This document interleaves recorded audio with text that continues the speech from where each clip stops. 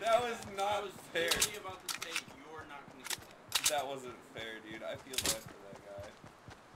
Oh my god,